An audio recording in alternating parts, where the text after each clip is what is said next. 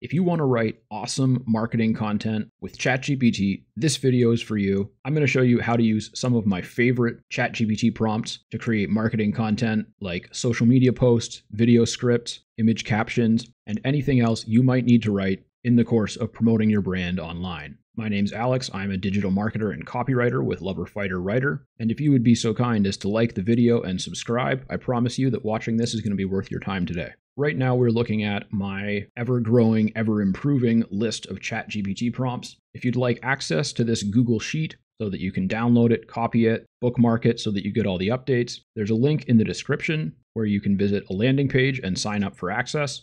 You'll also be joining my email list, and of course, you can unsubscribe at any time but I will keep you updated on all kinds of cutting edge tools and tactics in the world of digital marketing and copywriting. A really common problem that we see people talk about online is that when they're using ChatGPT or other AI writing software, they tend to get stuff that's really generic. It seems like it could have been written for any business, and it can be really frustrating, and sometimes people give up on the software. And the number one thing that you need to do in order to fix this issue is to start each ChatGPT conversation in which you plan on writing content or writing copy with a command that tells ChatGPT exactly how you want it to write everything that you're going to ask it to write. And there are a bunch of prompts on the list already that you can use for content marketing. We're going to go through a few of them in just a minute. But first, we're going to create a new, but first, we're going to use my two existing tone setting prompts, which are my copywriting voice and tone prompt right here,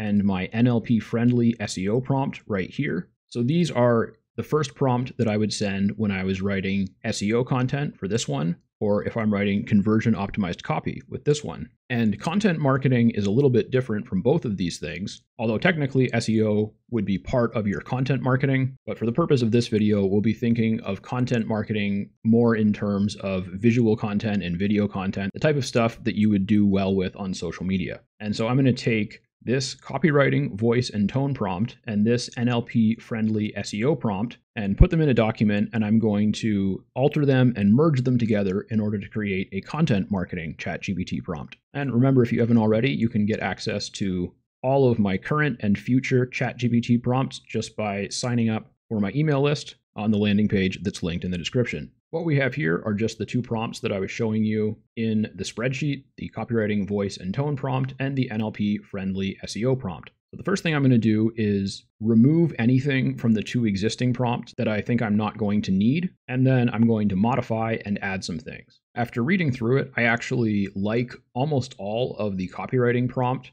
for the purposes of content marketing, but I do want to add some pieces of the SEO prompt to it and change a few things. So I've just opened up the middle of the copywriting prompt and I'm going to take from here down to here. So most of this actually and paste it right in there. But I'm going to change a few things. So instead of saying both search engines and humans, I'm going to say both artificial intelligence and humans. I still like all the writing instructions and the negative instructions about excluding certain types of words. And so I changed this part here to dedicate 60% priority to making the content engaging, authentic, and unique, and dedicate 40% priority to optimizing the content for click through rate and other conversions. Then we have the common ending, which is right from the perspective of, and here you include either the brand name or the author's name. And then you have a variable here where you can describe them a little bit and add a little bit more information based on what they're known for.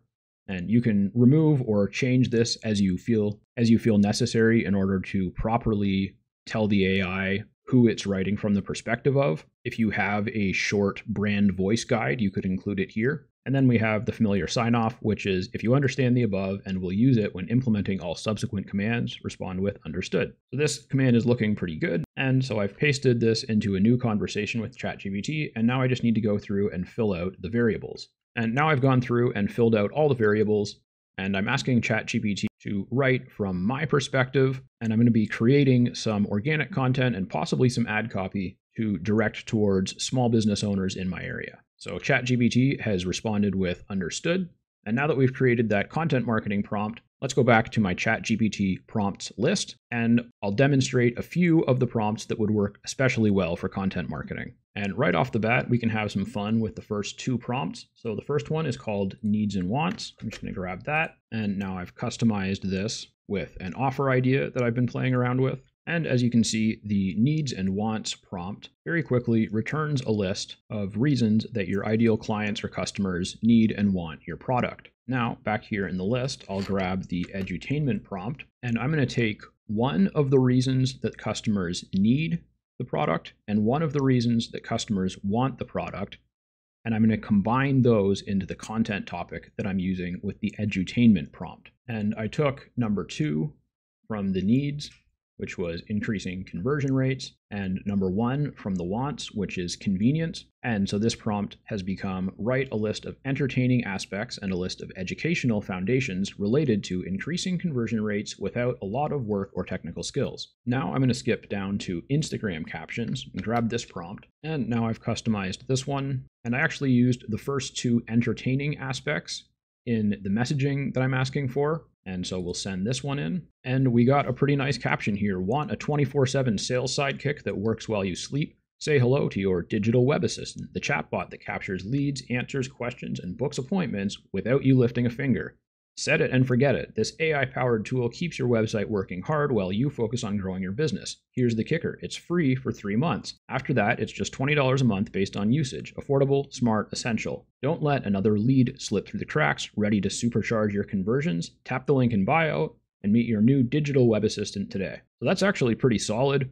I think I would like that for an ad. For an organic post, I would want to make it a little bit less salesy and a little bit more uh, informative and helpful, but that is a great start. Leave me a comment and let me know if you found this helpful, as well as if you have any questions or want to request a tutorial for a specific prompt. I really like this prompt, so I'm going to go add it to my ChatGPT marketing prompts spreadsheet. Remember to get access to this by clicking the link in the description. If you're on YouTube, if you're on Facebook, you can just DM me right on my Facebook page, and I'll make sure you get where you need to go. Thanks for watching. Remember to share this with anyone you know who would find it helpful and I'll talk to you in the next video.